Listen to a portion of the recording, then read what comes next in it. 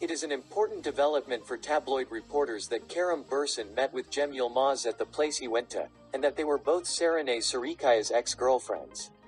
But for Kerem Bürsin, it doesn't matter. The famous actor was tried to be pressed by the tabloid reporters when he left a venue, but the statements he made made him even more loved in the hearts. Upon the evaluations made over Serenay Sarıkaya that he had cooked with Cem Yılmaz, Kerem Bürsin said, We have a very good relationship with Cem. We love each other very much. There is no problem. We don't have a problem with being cooked. In the video shared by TV 100, after Kerem Bürsin said these words, reporters remind Serenay Sarıkaya. But Kerem Bürsin's response to this is also remarkable. What a relevance, friends. How many of you are talking about before? While Kerem Bürsin was able to get rid of the pressures of the reporters about both Cem Yılmaz and Serenay Sarıkaya with nice words, he was also surprised by the question about Sümeyra Koç, the actress they left home with his car.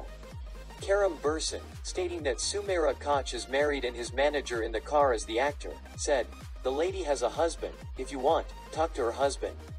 Guys please my manager is in the car, my manager's actress. Sümeyra is married, so don't speculate unnecessarily. We did her a favor, we dropped someone off at her house. The most important lesson taken from this interview shows that Kerem Bürsin has learned how to speak with the press well.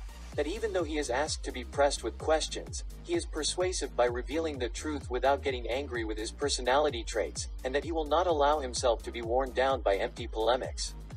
Kerem Bürsin is growing in the hearts of his fans with his humble statements recently.